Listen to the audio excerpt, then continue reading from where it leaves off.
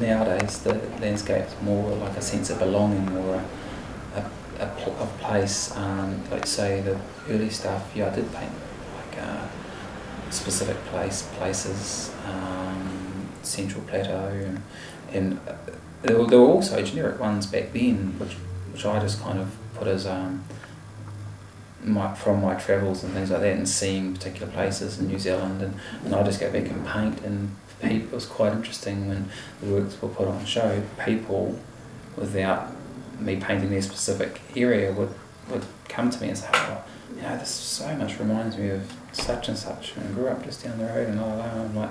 And, so that, and you can just see them wanting you to qualify it and tell them that yes, that's where it's from, but it wasn't, you know. So I was always pretty honest each piece has its own story.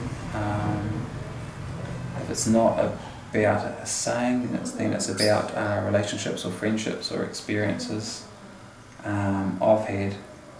Um, so yeah, it's all kind of quite personal stuff down to uh, my school days, um, uh, my grandparents, um, and the friendship piece, which is all about um, how my grandparents and parents would have um, a hot cup of tea, or if you have guests over, you'd always put a jug on and offer a cup of tea. Uh, whereas these days, I think we tend to not do the home thing enough. Because my work is so word orientated at the moment, sometimes you need a glimpse of it there to, um, you can't tell the whole story just with a picture. Um, and I actually I don't want it to be so sort of uh, self about the self. I want people to be able to understand or read it, if you like. Um, and if I can't tell the whole story with the picture, then I'll cheat and I'll put the suggest, you know, I'll put a word in, or I'll put. Uh, it's almost like a map of my mind. So it's kind of um, if I can't give you the cryptic clues which unlock it, I'll give you a little bit extra. And so what I've, what I've um, done here is, um, again, taking the local language without spelling it out, um, painted the phrase, so almost like pictograms or whatever you call them, um, using my um, imagery uh, and ideas to encourage discussion.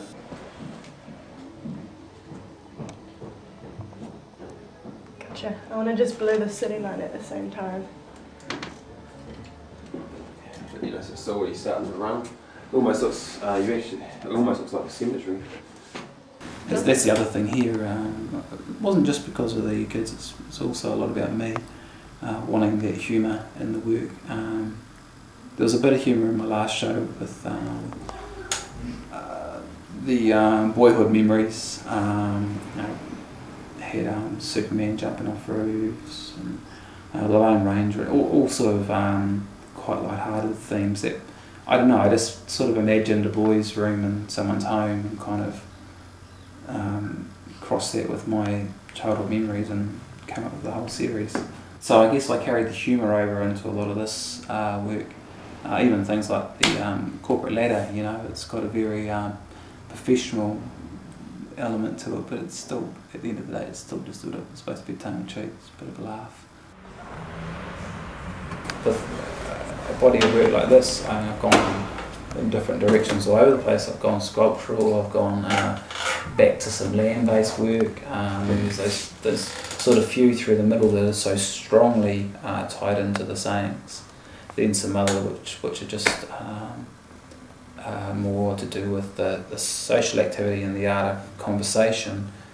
Um, once I get my teeth into something, I won't let it go. I'll kind of develop it keep running with it until I tire of it, I suppose, and then mm. then I might um, feel like doing something really serious.